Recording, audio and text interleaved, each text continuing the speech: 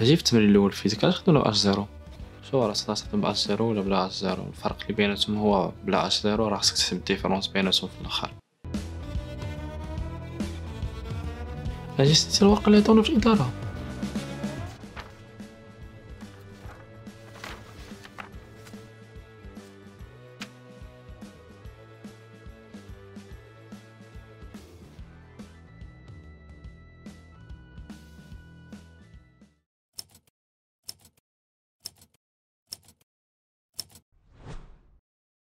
While I was reading the book Identity from Francis Fukuyama, I was wondering what identity for people in North Africa and Middle East.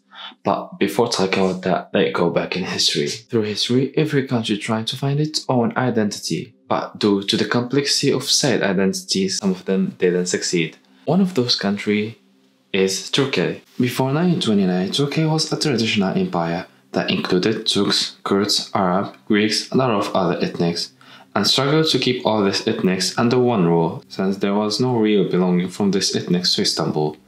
After a long history of wars, Turkey succeeded to unify the Anadolu by modernizing and Turkification the Turkish language by adapting it to the academic use. It didn't really succeed to establish the situation because it did impose a group language over the others, but it achieved some kind of success.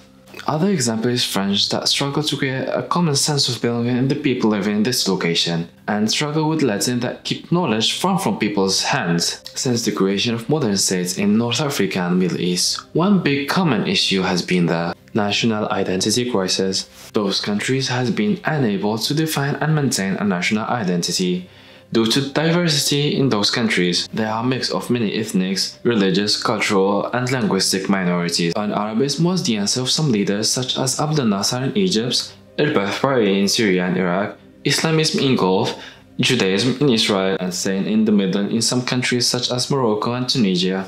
As a result, we are living in 2020 and almost all those regimes have been changed but still struggling with the determination of our own identities.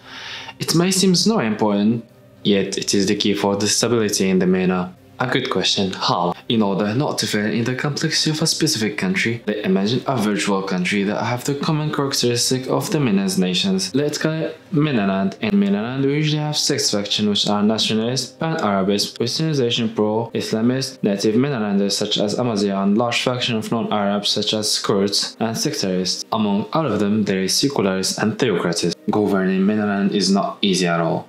Bringing democracy to it will not be a good idea because political party won't live in harmony. They will only fight for shaping the country's identity according to their own belief, and not for the benefits of the nation. Either it will be the majority imposing their own ideology on a minority, which would create a tyranny and invisible feeling for the minority's leaders and foreign powers, that could lead to civil war and betrayers, or it would raise the minority to the power, which would oppress the majority till the fall of the regime and encourage the majority to take revenge on the minority. So the idea of dictatorship seems more suitable now. But wait a second, it will not be a great idea neither. Actually, it had been already tried, but it didn't succeed. And we have all seen dictatorships fall one after the other because they failed to unify the hard nation's demography under one identity.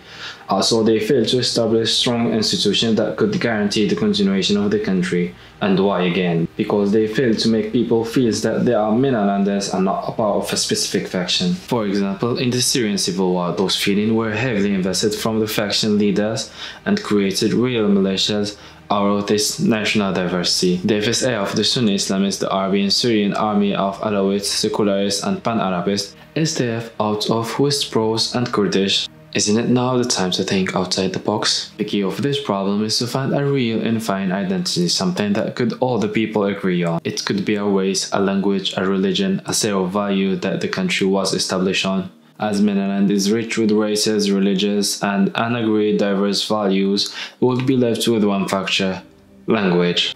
Arabic, English, or even French are foreign language in Menaland, and the preference of Arabic or French over local languages was a result of policies aiming to unify people under one governance or to conserve a certain elite's power, but it did ignore all other minorities who in fact are not a minority. Statistics were heavily manipulated, so the Arabization of Menaland could seem legitimate. And the worst is that Menalandi dialect was really undermined. For example, USA, France, Germany, and a lot of other countries use their local language in their professional, academic, and literature fields. In the other hand, in Menaland, IT, politics, philosophy, literature aren't easily accessible to most Menalanders because simply they use other language than real use language. So Menaland must have one local language inspired from the other local languages that could play the role of the unifier. Then Menalandi dialect should be recognized and transformed into an official language by making it more compatible with academic and business purposes, so that Menalander could enjoy richer internet content and knowledge won't be exclusive for French, Arabic, English speakers, and philosophical literature and academic product would be closer to people, which would lead to a whole social revolution. But why not using Arabic? Let's take a look back in history. France, one of the most powerful literature civilization, has come to a point that Latin should not be used anymore in science and philosophy because it monopolized the knowledge in favor of the elites and the church, and so on. Choosing Arabic would firstly ignore all the ethnic groups, secondly would monopolize the knowledge, thirdly would keep the linguistic decisions come from another capital than the Menaland's capital. And to have such a unified language, Menalandi should be in the middle of the dialect language in the country by including the vocabulary of Menalandi, Arabic, and the other minorities language in the new language. And also it will be an opportunity to come with a language more non-sexist, more tolerant to the other, more adapted to the development. Because all the languages that we speak now are influenced by what what people think years ago. And at the same time, language influences the way people think. So it's better to make a language with modernized syntax, vocabulary, so it will align the way people think. Though reaction won't be weak, some of them will reject the idea by saying the religious argument, but there is no religion that imposes on people to speak a specific language even though in Islam Arabic is a sacred language, but the majority of Muslims don't speak Arabic, so the only real argument here is either sticking to tradition or the fear of new ideas. And yes, it isn't all to persuade people to adapt to a new language, especially if they are uneducated, because the more a person is educated about subject, the less he becomes extreme. So the adaptation of the new language should be slowly done, which means firstly by making school more accessible for all. Secondly, by adopting more open and tolerant social programs in high school, and finally by making it an attractive choice in universities, pushing the private sectors to start adopting the new language, and that will be by encouraging them by lowering taxes when using it, for example, and translating important academic sources in the new language so we can use it in academic research and business, and that individuals could benefit from it, and then we may think to impose it on all the people, but with keeping English as the only foreign language in the country so we can guarantee the openness to the world, and heavily advertising it by making books, films, social media, influencing sources, TV shows in the new language. And also we have to create a set of liberal and unifying values including the new language. And I know you will ask, is a unified language enough to shape Menaland's identity?